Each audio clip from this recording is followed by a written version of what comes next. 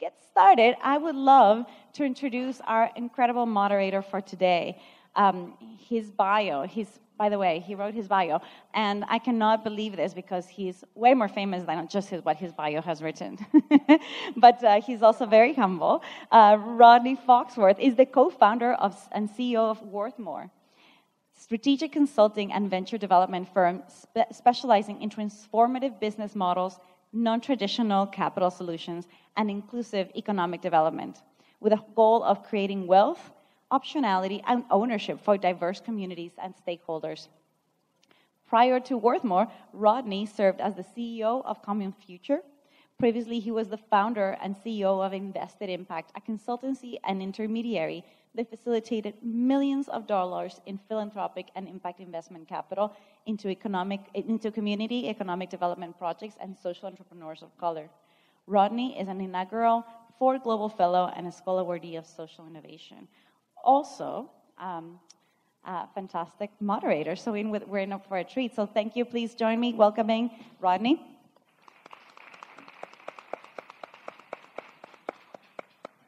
Thank you, Michelle. Um, you know, you did sort of, uh, when you said I was a fantastic moderator, you did have a little pause there. I just want to point that out. So I want to set the expectations for, for the rest of you. Um, no, but seriously, thank you for the opportunity to, uh, to moderate this conversation. Um, I respect that there's a lot of humility in this in this audience because I suspect that there are more folks in this room that have expertise on this topic and related topics that you actually are uh, demonstrating with your hands today. Um, I'm really looking forward to this conversation because we do have like some really amazing experts who have done an array of really when we talk about alternative forms of corporate ownership and governance they've done sort of like the full gamut. And so you've got in this like concentrated amount of time, you're going to listen to quite a few folks that have um, something to share with you, some real clarified case studies and examples, and really the brass tacks of doing this this type of work.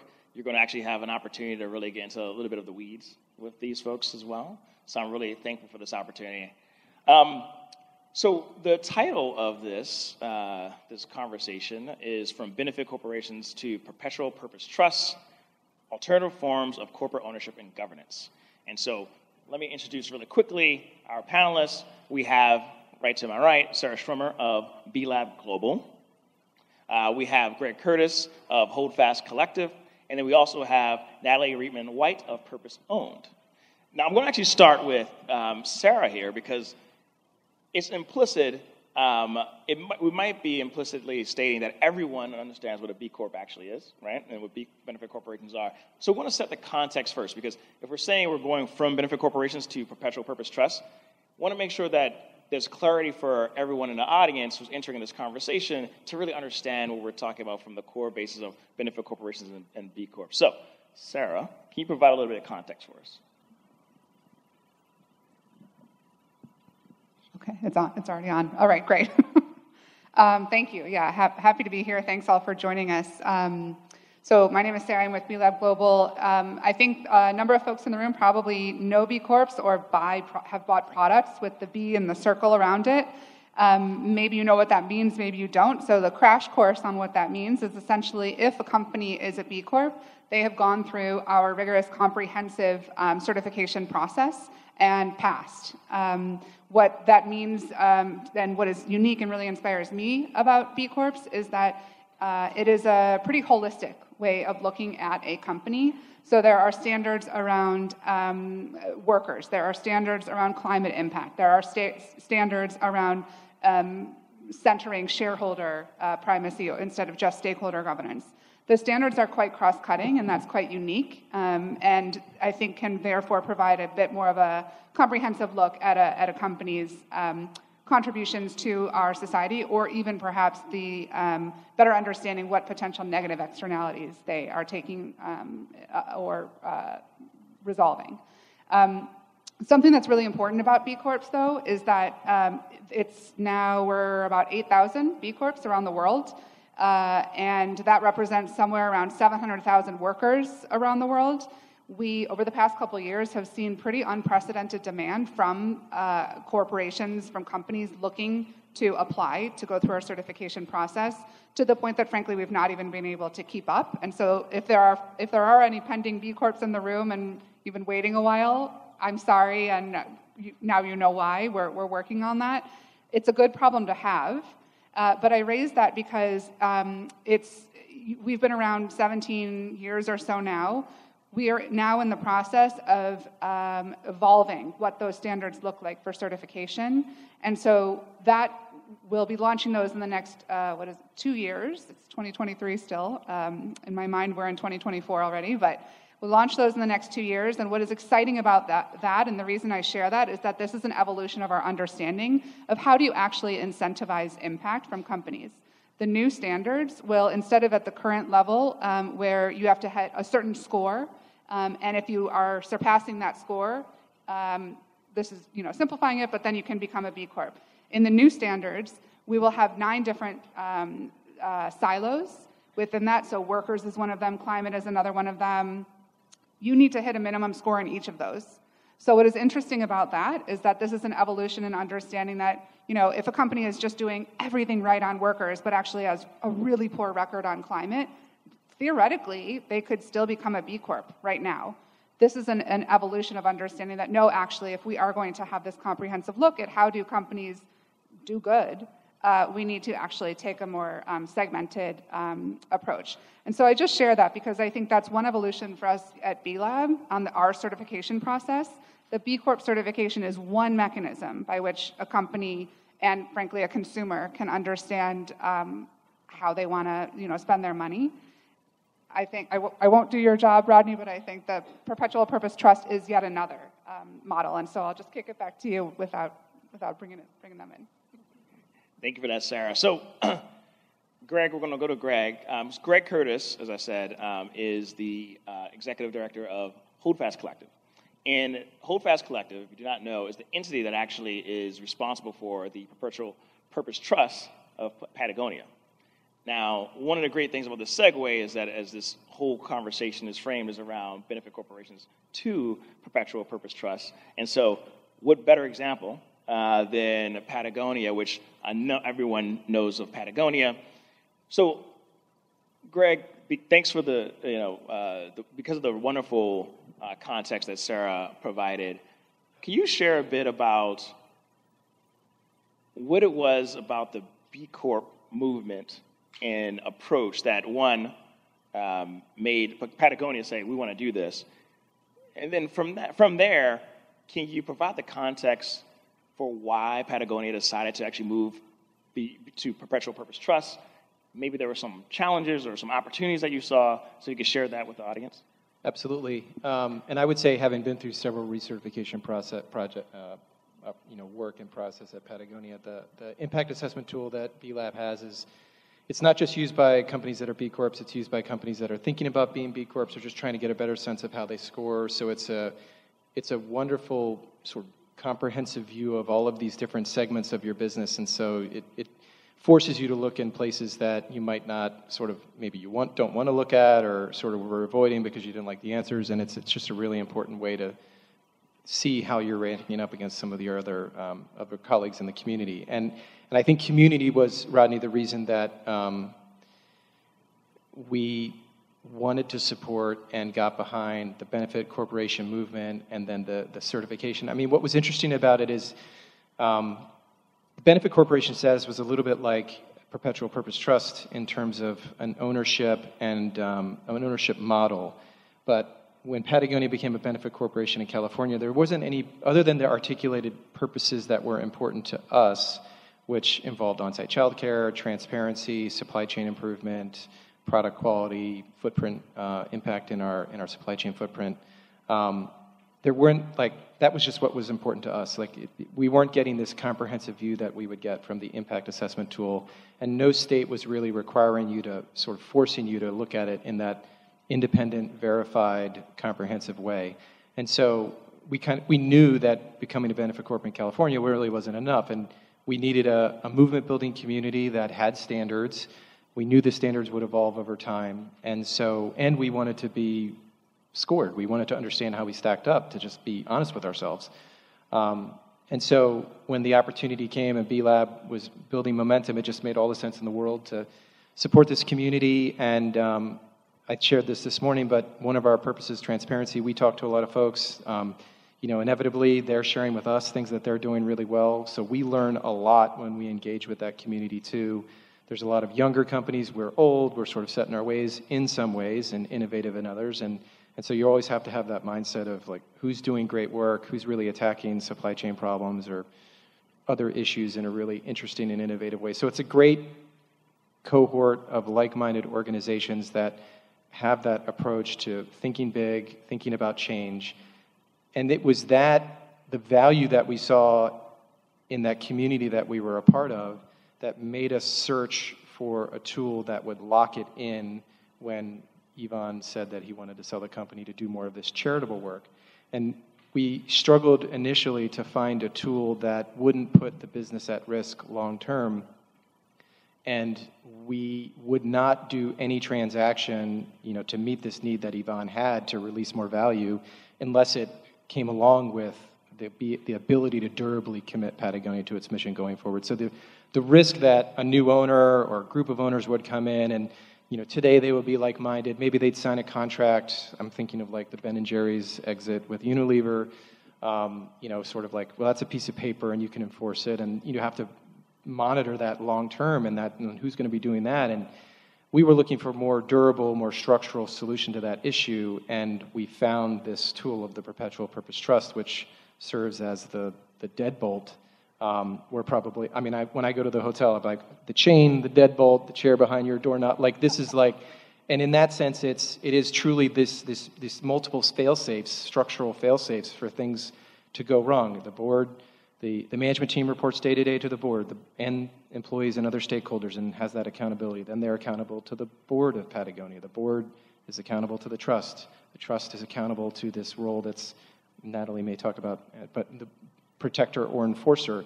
So there's multiple levels of, of fail safes and accountability. Nothing happens fast, and therefore nothing that risks the purpose of Patagonia can happen fast. And, and there's a lot of tension built into the system purposely. Um, so in that sense, everything we were doing was to protect everything we'd already done and committed to. And um, and it was a tool that you know we'd like to share in opportunities like this of how if you're a benefit corporation or, or not or thinking about it you might have a different tool if you need an exit to permanently protect your business durably going forward. Thanks for that greg.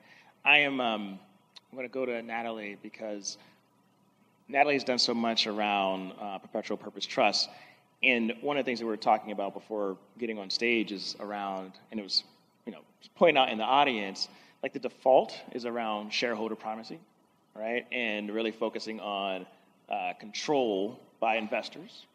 And one of the things that you all are uh, aligned around is the opportunity for a per- perpetual purpose trust to actually recode sort of the expectations and create a new norm. And so I'd love for Natalie, if you can offer some historic context as well around perpetual purpose trusts what exactly are they? um, you know, you've worked on so many different, you know, I don't want to say transactions, but so many opportunities around this. So if you can provide some context, like where you're seeing the opportunities hit it, um, like are there, are, is there sort of like more active ground, more movement, um, and also just share some more perspectives. You know, Greg was able to share about Patagonia, but if you can share about some other opportunities as well. Thanks. Hi, everyone. Um, so, Perpetual Purpose Trust. So, they came on the scene in the early 2000s. They're available in 12 states now. Trust code um, evolved, and this is a change in the Uniform Trust Code. And basically, what it is is it's a non charitable trust that can hold an asset for an ongoing purpose. So rather than humans as beneficiaries of the asset held in the trust, so that is their private property, instead um, you have a purpose um, that is benefited from the asset held in the trust. And so in the early years, this was used for things like holding an art collection, maintaining a cemetery, things that were um, to benefit non human beneficiaries. Um, but over time, that has evolved. In the last five years, we've seen companies using perpetual purpose trust to hold some part of their ownership or all of their ownership. So the company stock is actually transitioned, part or all of it, into a trust. So now your new owner is a purpose. So the great thing about that is um, we know humans uh, can be great owners. They can be great stewards of their companies, building their companies and creating culture and delivering value. And um, but humans often need to retire.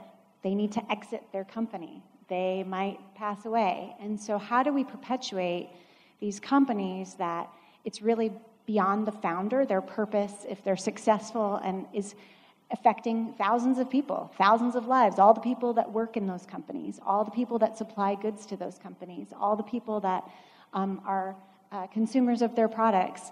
Um, and so we want these companies to go on, and so we need structures that will perpetuate them, to Greg's point. So, you know, I want to mention perpetual purpose trusts are just one in a suite of kind of emerging uh, conversation around shared ownership models, alternative ownership models. Um, a framework that I really like is called stewardship ownership. And um, perpetual purpose trusts meet the steward ownership criteria. There's kind of three key design principles in these structures. One is the company is self owned. So it's not a commodity for sale. The company is self owned by and for its purpose. That's why it exists. The company exists to create products and services that are of value to society and furthering a purpose. Um, the second feature is that the governance is held by people who are good at stewarding the company on that path to the purpose. So it's uh, held usually closely by people who have demonstrated leadership and ability at guiding the company. And then the third is that the economic rights or the, the wealth and the value that's being created in the company is reinvested back into the purpose and shared with people who are contributing value to that purpose. So, investors have a role to play that they bring capital to the table that can help grow these purpose companies, um, sometimes create liquidity for a founder exit. Um, workers are delivering value by bringing their energy and creativity to the company every day to um, accelerate the purpose. Um, potentially, customers or people in the supply chain. So, you can design um, one of these models to really share governance and share rewards with people who are creating the value. So I'll just give a few examples of companies that are choosing these because we're seeing a big, a big variety. Um, so some companies are more focused on, say, social justice or employee worker benefit. So a great example, a couple of examples here in California. There's an organization called California Harvesters. They are a farm labor uh, contracting company. So they have over a thousand workers, and um, that's a historically very exploitive industry where the owners, the farm labor contractors, um, really exploit the farm workers.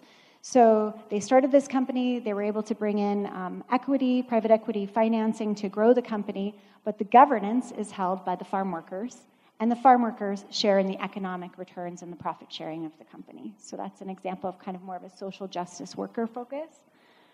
Um, some companies have more of a um, kind of community benefit and staying rooted in their place focused. So, um, an example of that is um, uh, Zingerman's uh, community of businesses in Ann Arbor, Michigan. So, um, they started off as a chain of delis and they grew and grew. Now they have a bakehouse and a candy shop and a mail order cat- catalog and a training program. They have over 850 uh, employees in this community of businesses. But their whole thing was staying rooted in Ann Arbor and growing a diversity of businesses that shared their values around treating employees well, creating awesome products, and contributing economic value to the community. So they're an example of kind of a place based purpose trust that's reinvesting back into the community and sharing with the workers. And then for some companies, it's really you know more of an environmental focus.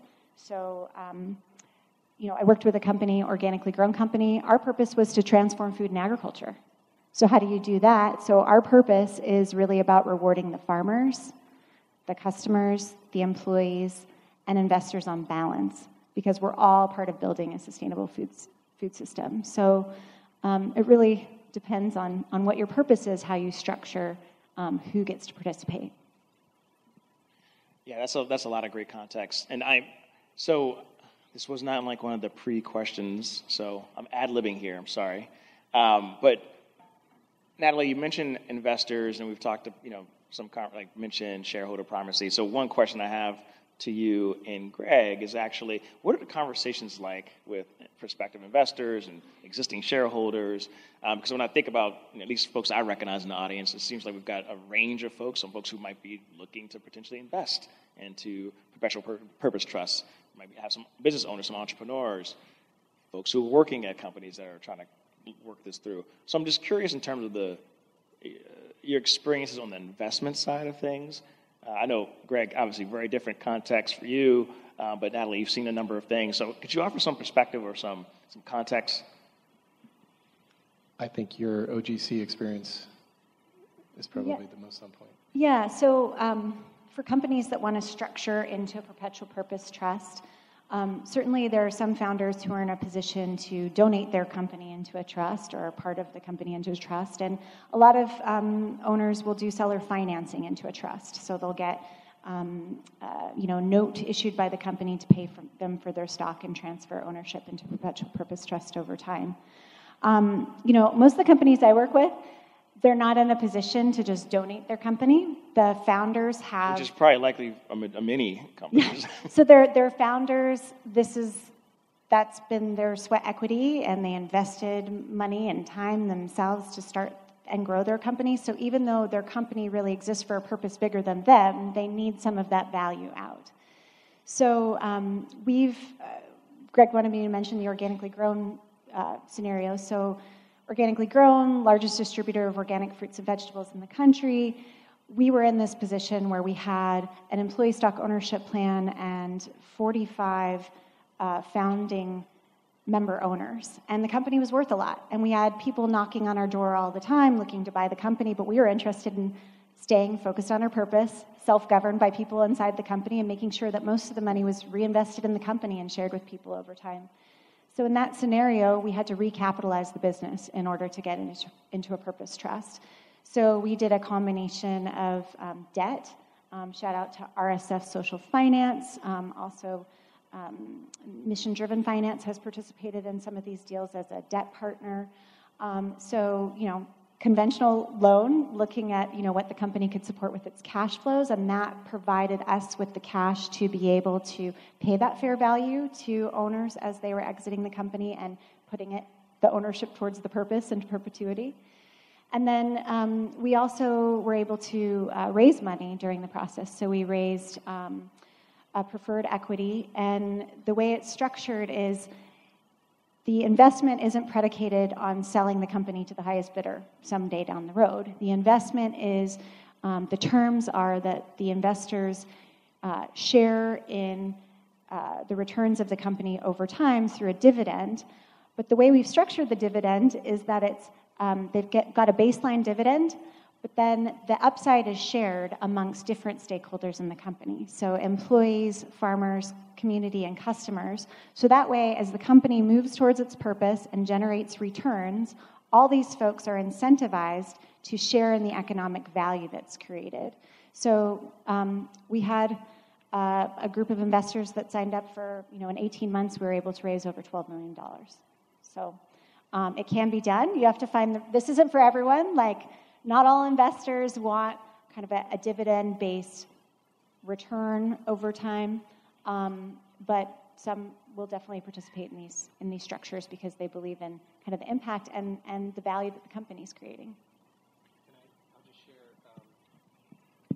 Um, the first time I'd ever heard of a, a, perpetual purpose trust was because of the OGC transaction that Natalie led um, the company through, and um, and mainly because I was always poking around because I knew Yvon was going to do something like he was going to, and eventually I was going to get the call that he wanted to sell the company. And so we were always looking at like what is interesting and different that we might be able to use as a tool to, to deliver to him what he wanted. And there aren't many moments in my life where I feel like I've found like a treasure map of um, like something that just opened the world in terms of what was possible. But I read an article um, about the OGC transition. There's a term sheet that I think is still online that you can see, and it's just it's brilliant. It's some of the most brilliant thinking and creative approach to financing, and it really shows when a business um, meets with investors who are thinking differently, with stakeholders who are reaching for something different and possible,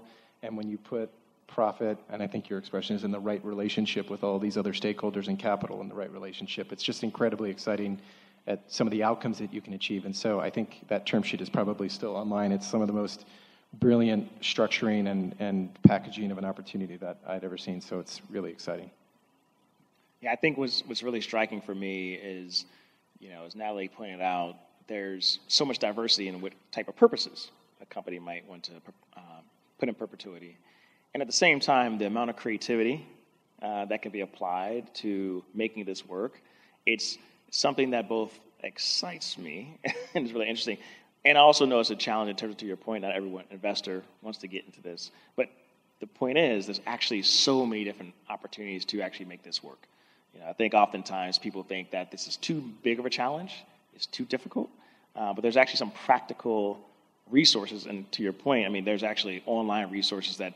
One of the great things about this is that because folks in this space are so purpose driven, there's a lot of transparency. Um, a lot of things that people have already done that they want to get out there to make it a lot easier for the next person to execute against these, uh, these things.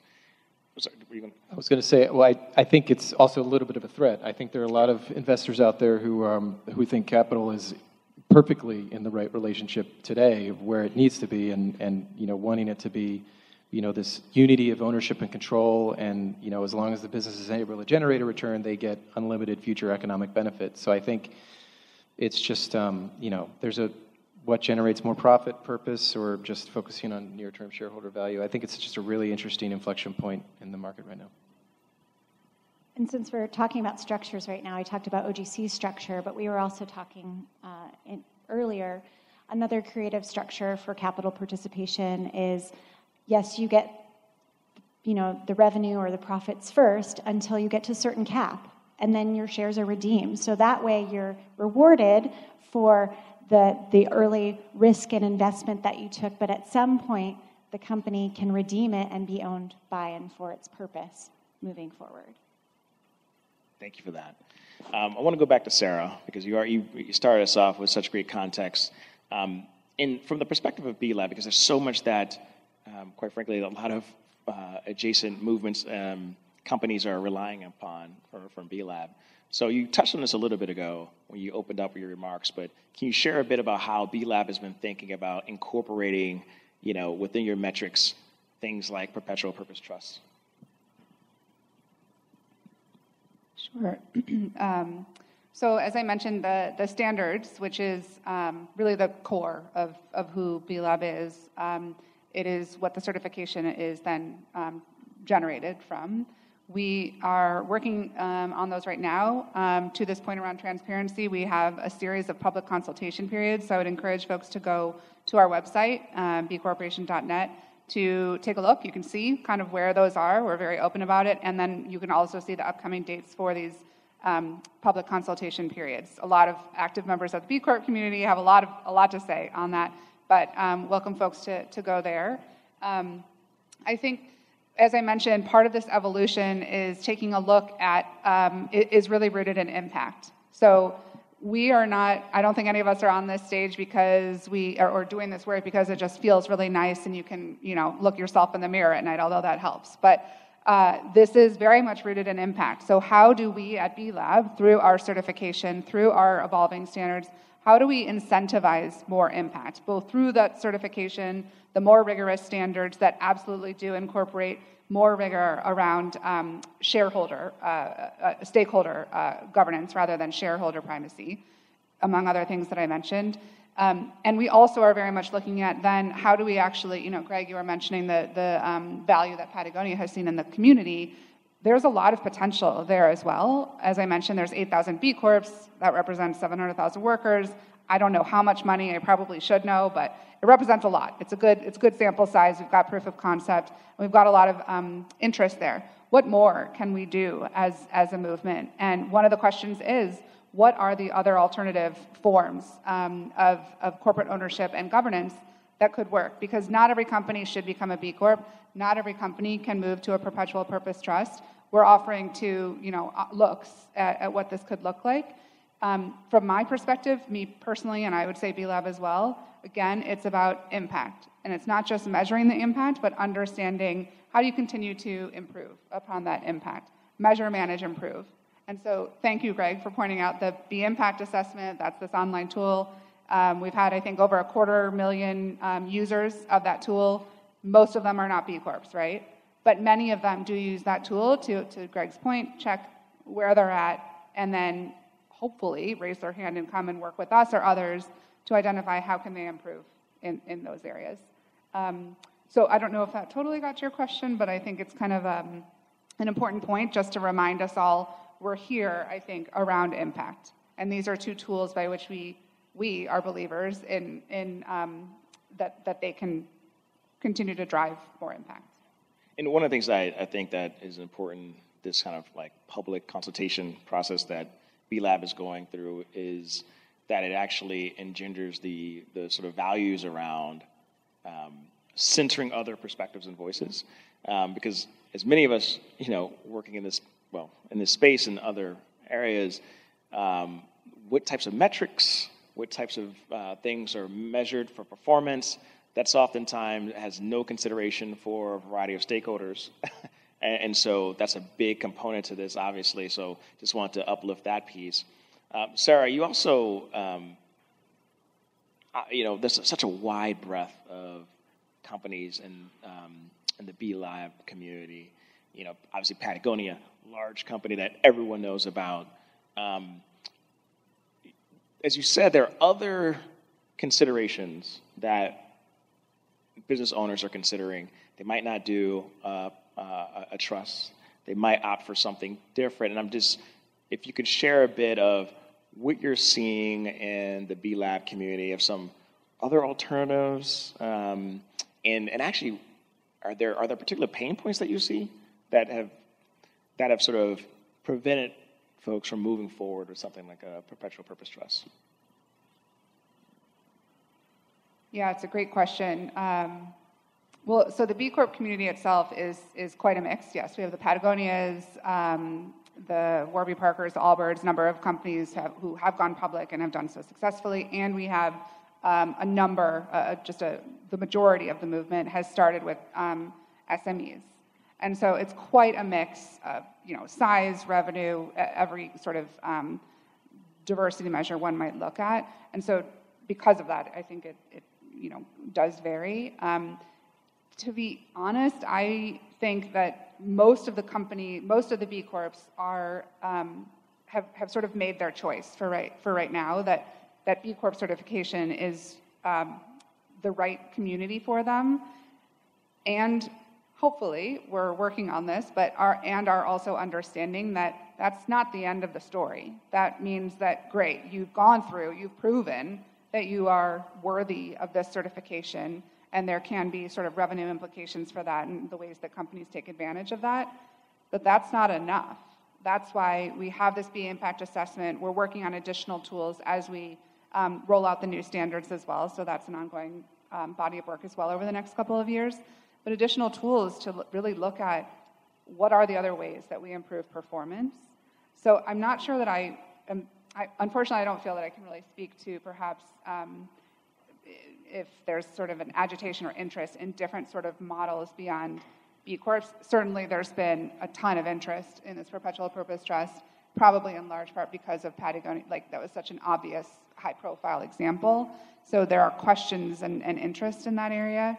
Um, for me, what we see in the B Corp community is again, it's about the impact. And so they have decided that the B Corp certification and working with us with other tools is the right way to, to do that for them. That makes sense. I, I am um, I'm thinking about um, this idea around aligning all the stakeholders. And I'm sure that's probably some of the messiest components, um, or maybe not.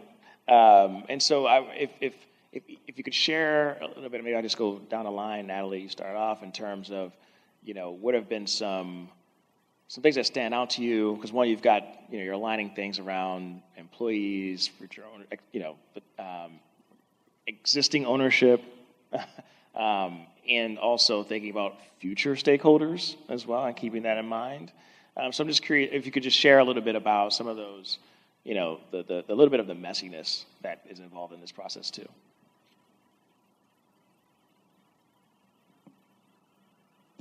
Hi. Um, well, so that's actually one of the reasons why people are choosing this model. So, um, Greg was talking about kind of who's at the center of the universe in your business, and ownership has a lot to do with that, right? So, in traditional business models, those who invest are the shareholders, and that entitles them to both control of the company and governance rights, as well as economic rights in the company. And so, so what's the alternative? So, you know, some companies have thought about, well, who do we have at the center if it's not shareholders? So there's other forms of ownership like cooperative ownership. So you might have a single stakeholder group now at the center of the universe. So let's say, a worker cooperative. The workers are at the center of the universe. They now hold the governance rights. This, they elect the board, they serve in a governance role, they decide what direction the company's headed over time, and they also reap the economic rewards. Um, or you have a producer cooperative. It's the farmers at the center of the universe, and they're the ones who control the board and, and share the economic benefits. But I think what's going on here is people are starting to recognize that in order to build a great company, you can't just have one stakeholder group at the center of the universe because you will get out of balance in your performance. So I think there's a real case to be made from a business value proposition that we have to put none of those stakeholders at the center of the universe. We've got to put the purpose of why the business exists and who it exists to serve and what it's trying to do in the world through its products and services and the impact it's trying to create at the center.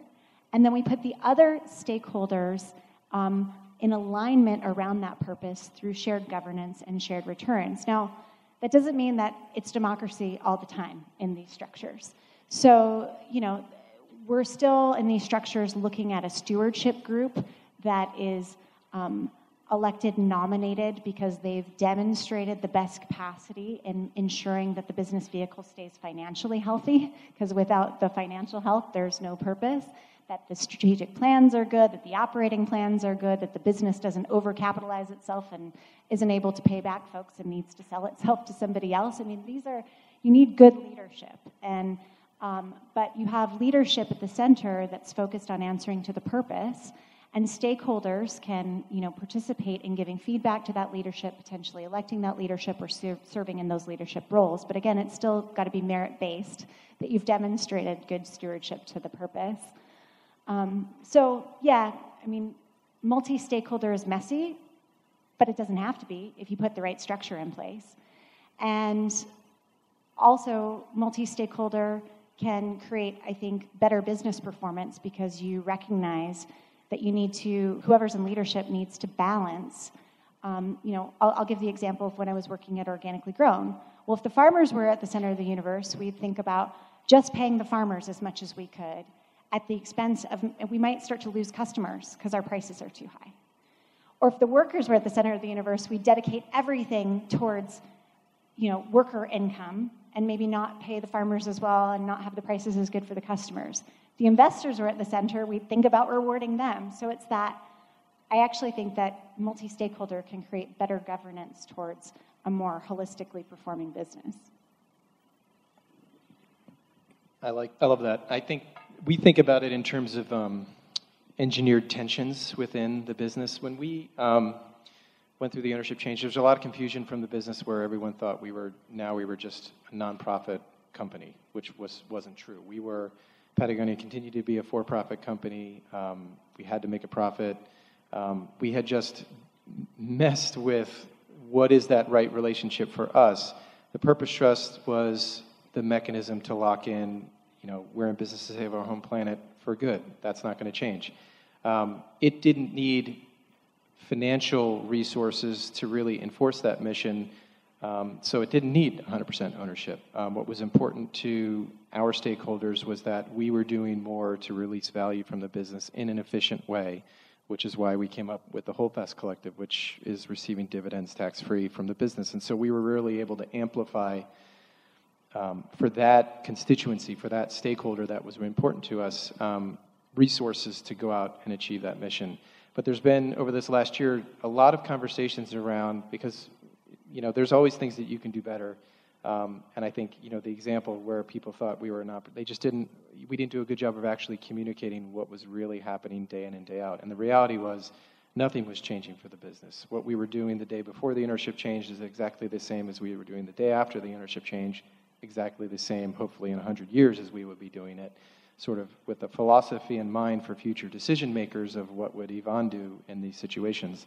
And, um, and so, so that was, that was, and to achieve and to get more visibility and literacy in terms of what we were doing, we just weren't doing a good job of communicating with employees like, well, this is what we're doing from a compensation perspective. This is what we're doing from a leadership and development perspective. This is what we're doing in our supply chain and the investments that we're making. This is what we're reinvesting in our systems to put you in a better position to be able to execute more effectively. And so, just better internal communication about how, before we even issue dividends, how we are allocating the value the business creates among all these different segments. And so, I think it's actually been a really great learning process for us because there's a lot of hard work that everyone in the business is doing to make all of this happen, and now we just have better transparency, internal transparency in terms of how we're making it day to day. Thanks for that, Greg. So I'm going to actually um, take some moderator privileges here because there's been I've been receiving these questions from the audience, and uh, we're supposed to start those a little bit later, but there's a number of them that are actually I mean, they're, they're good questions. So I want to just have enough opportunity to kind of address them. Right? Is that okay? Okay, great. See, I asked for, I asked for permission. Got, uh, the panel said it's okay. Um, so I'm going to start, and I'm just going to do these in the order that I received them. Um, it's actually a question that's really uh, dear to me. So, how have you seen companies build in racial equity, gender equity, and other types of equity into ownership and governance models? what worked, what didn't. Um, I would assume that this is this is broader than um, perpetual purpose trust as well. Um, so, so if you can lean into to, to, sort of the broadness based on like the question itself. Okay, I'll go. Um, so, rethinking ownership. Ownership has not historically been available to everyone. There have been communities that have been systematically shut out of ownership and opportunities for ownership. So to me, this really gets at the heart of, I think somebody commented earlier, if we want to get towards equity, we need to think about how we actually share governance and returns with people who have been systematically left out of those opportunities. And so, um, you know, uh, examples of this. Um, are in the perpetual purpose trust movement are plenty. I'd say the main vehicle is um, sharing governance, so through board seats and stakeholders participating on board seats, um, as well as uh, shared return, so where the profits are directly contributed, like a chunk of the company profits are directly contributed to the people who are creating the value. So I'll give a, a um, an example, another example of a purpose trust owned company. So there's a company called Optimax which is a manufacturer of optical lenses. And um, they manufacture, design, so they've got a bunch of technical designers as well as blue collar folks working at Optimax Max Manufacturing. And they're based in Rochester, New York. And they decided to do a purpose trust because the founder comes from a background that is based in Rochester, blue collar background, and he wants to make sure that over time, the value that they're creating, they make lenses for like the Mars rovers and NASA, is actually going back to the community in which it operates. So that's an example of how they have embedded within a structure um, wealth and shared returns um, going back to the communities that are creating value that have often been shut out of ownership. What came to mind for me is um, and this is candidly something that Patagonia has done a lot of, has had to do a lot of work on. I mean, historically, we were hiring out of a, a pretty local population in Southern California, which kind of came along with some certain disparities in, in composition for employees.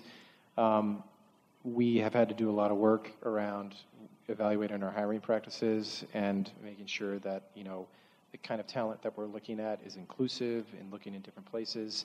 Um, and that's, it's been really exciting actually to see the results of that. A lot of new ideas, better ideas than ever, a lot of highly motivated individuals. Um, the work from home hybrid environment has made it a little challenging, but it's great to see everyone getting on campus again.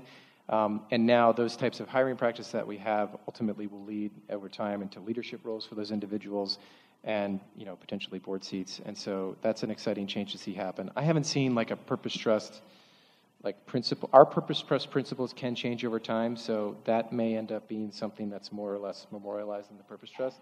But as of right now, it's it's part of our benefit corporation sort of evaluative criteria, and so from that, and in the sense that our trust locks in those criteria, that changes here to stay.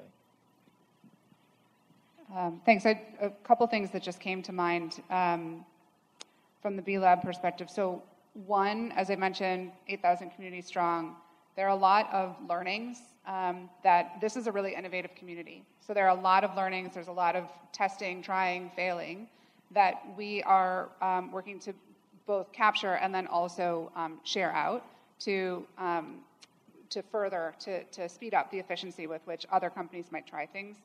Um, the second, I mentioned our evolving standards. We, one of our standards, one pillar, is around what we call JEDI, which is justice, equity, diversity, and inclusion. So there will be um, very clear measures um, in there. If you want to become a B Corp, recertify as a B Corp, you need to meet those standards, and more is available on our website. The third I wanted to mention is that um, we took a decision from the beginning that the B Corp community needed to be accessible. And that means a lot of different things, including reducing financial barriers. You have to pay money. If you want to certify, you pay money. We're underpriced, um, in my opinion, but um, what that has meant is that we have, um, we at BLab have subsidized that cost so that in particular in emerging markets around the world, that that cost to certify, to just go through the cert- certification um, to see if you're eligible to become a B Corp, um, we've been subsidizing that. So the community is much more diverse than it might have been otherwise. The fourth piece and last piece I will say that came to mind is that um, we have also really worked to center JEDI, Justice, Equity, Diversity, Inclusion, in everything that we do, including programs that we're developing. So these are all philanthropically supported, which is why we, we hope to build on these. But we have um, a program now, I think we're in the third iteration of it, called Level. Some of you may be familiar with it. Um, this is focused on BIPOC owners specifically. Um, where we bring together cohorts of BIPOC owners for learnings, but also to put them in front of access to capital. Um, so helping to ensure that these um, opportunities that might not otherwise be available to, to Natalie's point are um, not only available, but we're actually prioritizing those folks. Um, so those are less on the sort of governance side and more on the sort of programmatic, but wanted to share those. Thanks for that. And this, this question's um, uh, not connected to the most the, the, last one, but I think it's something that we actually briefly touched on before the panel. Um, so I'm going to sort of condense this uh, question, but the question is really looking at the, the su- support functions that actually help to activate these alternative ownership and governance models, and specifically the role of lawyers, accountants, tax advisors, wealth advisors, et cetera. I see you uh, uh, smirking over there. Um, so, so if you could just offer some perspective there, because I will, I will say that before we had this panel, you know, that is always, you know, we had a brief conversation in my experience. How do you make sure that you can bring to bear the most creativity from those from those functions, um, and it can be a hurdle. I mean, I've certainly experienced that directly. So, any any thoughts that you might have to share? Um, well, I think we need networks of lawyers, CPAs, and others who are interested in these models. Um, and we're starting to grow that. So I've actually been working with some academics um, to map the landscape of service providers that are working on these stewardship ownership models. Um, so that can be available to entrepreneurs and investors who are interested in doing this. We need more open source materials. So Greg said he saw our term sheet online. You know, to what extent can we share how um, companies are structuring um, uh, equity and debt in these deals? Um, and so open source materials, connecting people with um, the advisors, and certainly this needs to be taught, you know, in law school and business school as what are the options. I think it's more common that we think that, um, you know, we design ownership so that ownership always has economic rights and governance rights, but really starting to work with folks who can innovatively pick apart okay, what are you trying to achieve, and how do we structure the right people at the table in right relationship with the right um, rights to either value creation or governance in this thing. And um, I think it's coming, but I think it's early days. Like, I think that this is basically kind of the bleeding edge of the socially responsible company ESG movement. You know, first people thought, well, how do we support more products and services that are better for people on the planet? And then it was, well, how do we make sure that those values carry into the entire operation of how the company is run? Like, how are the workers treated who make those products? And what kind of energy does the facility run on? And all of that. And I think the next thing is okay, so who's in the boardroom and who's getting the value that's created from this company? And so to me, this is the logical next step for this movement um, is to really start to unpack ownership and ownership design and to reconfigure it in ways that um, center purpose. So um, it's coming. Uh, I'm writing a book on this topic of purpose trust ownership, and we're um, going to be creating kind of a trade association for people who are doing work in this field to be able to network and share best practices and open source materials. I'll just add to all of that, and I'm excited and looking forward to the book. Um, a lot of this is some simple stuff like if you're out there um, and you're interested in this and you're talking to your startup lawyer that helped you build your business they are they're a corporate lawyer. They don't do if uh, when you get into trust world it's it's personal estate tax um, family planning totally different if your law firm even has that department. A lot of them have broken apart from these big law firms so it's if you want to talk about purpose trust, ask them very directly. You know, do you have a trust and estates lawyer? Because that's the kind of expertise they need. And for a lot of this work, you get into tax exempt areas too, which they may not have. And so a lot of times, you know, they might, and it's appropriate to, to go to that sort of startup lawyer, but you might just need to get expertise from other firms to connect the dots. Same thing for accounting, because there's sort of groups that just practice in charitable versus for so you kind of have to, unfortunately, right now where we are, because this is so interdisciplinary, I experienced this completely. We had to kind of sit between a lot of functional areas to make this work because they don't norm they don't think and connect these dots because they never had to before. Um, so just reach out and just ask those kind of direct questions so you save yourself some time and headache. I'm going to add one thing. Don't take no for an answer. I was in the boardroom at Organically Grown and we were talking about structures. And I was saying our structure is problematic. It could lead to an eventual sale of the business someday. And then all this that we're building will be in trouble. And so I literally had people go, There's no other solution. We've already been a nonprofit and decided to be a for profit. Then we were a cooperative, but we decided that it wasn't just about the farmer. So then we added on an employee uh, stock ownership plan. Like we've been through every structure, there's nothing else. And I just kept pushing and talking to folks and talking to folks. And I, so don't take no for an answer. You can build this structure that will support your purpose. You just have to get creative and keep, keep talking to folks. And I do want to point out that Greg is the only attorney on this panel. Uh, they do exist with this type of creativity. But one thing I want to double down um, in terms of what uh, Natalie pointed out, because there's an analogous sort of thing on this on the on the sort of like impact investor type side where, you know, I've, I've seen where consultants and advisors begin to wield more power than the actual client. And so you say, hey, we want to be able to invest directly into racial justice. And then, you know, your consultant says, we can't do that. We can't figure that out. Well, you're actually the person that has the power in an equation. It, you know, we, we talked a little bit about power earlier, but there's sort of like this, this more specific relationship. Oftentimes think about this from the fact that somehow FTX was able to find accountants and attorneys to make that work. Um, but when it comes not to purpose things, owned. It was that not purpose owned. Exactly, not, not purpose owned. Um, but when it become when, it, when you get to a place where you're trying to actually figure out ways that you can create economic rights, power for regular folks, and purpose, uh, it gets a little dicier. So, I, so just to double down on what Natalie pointed out, it's not you know accepting the no, but also pushing to say, hey, you know, we can find another attorney, we can find another accountant if you can't figure this out. Uh, because you're seeing some of that again on an analogous side. You're seeing more some growth in some other investment type vehicles, specifically because you know investors say we want this, right? And so I just wanted to like double down on that. Totally. I mean, there's a lot of when you talk to even found like there's a lot of unarticulated expectations, and and they won't even go to certain places because they just assume that you want a liquidity event. So it's just you kind of need to be really direct and really over communicate in terms of what you're trying to achieve and what you're willing to walk away from or what value you're I wouldn't say you're walking away from the value, you're reallocating the value among other stakeholders. And so when people start to, because they were they didn't go to law school, they don't teach us in business school. So this is like this is really early. Um, so we only have so what we're going to do we have five more minutes. I'm going to ask this one question and we'll close out. But having said that, we're going to have 15 minutes of time, right, uh, Michelle, to, for folks to be able to interface with the, the panel more casually. Um, this is a very uh, specific and, and uh, question because I think, Natalie, you had pointed this out.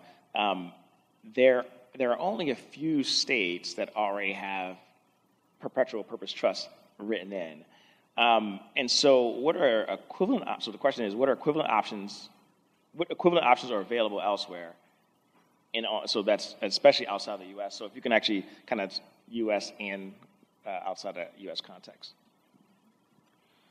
So in the U.S., there's there's 12 states. Um, we actually just passed legislation in Oregon a couple of years ago to allow these types of trusts. So I would encourage folks who might be academics, legal scholars, there's a business opportunity here. Like that's how we brought it to our legislature was we will help more companies stay independent and contributing in our state if we pass this legislation that allows companies to be owned by an Oregon Stewardship Trust, is the way we um, pitched it. Um, but companies can use other states to house their trusts, even if they are not domiciled in those states. Again, I'm not a lawyer, but he is. Um, that, but like we've, so we've worked with California companies that are owned by a Delaware Purpose Trust, for example. Um, internationally, I'd say, you know, the trust code is different per country. So I actually live in Canada, and that's kind of linked. I, and I've had a fellowship in New Zealand, um, and there's kind of a, a, set of trust code that the crown countries share, for example. So you kind of are looking at what are the, the common uh, trust codes and available structures uh, per country. I know Germany is actually just passing. Um, a new legal form for a self owned company, which will match this criteria. So that's why I like to go back to the design principles. Like, there's different vehicles in different countries, but I think these the, de- the design principles of what, what I call stewardship ownership, which is really looking at how can a company stay um, independent um, at, for the long term, um, share the governance with the people who are the best stewards of its enduring purpose, and then uh, share the economic rewards with those who are creating the value and reinvest and, and give yourself enough to reinvest in the company too, not just pull it all out of the company. And so, what are the structures that allow you to do that? So, um, you know, and another thing is like for, for other countries, um, for example, as part of my fellowship in New Zealand, there are awesome lawyers in the States who are willing to donate their time to meet with lawyers in New Zealand. I like facilitated a Zoom call. And we said, okay, explain what we're doing here.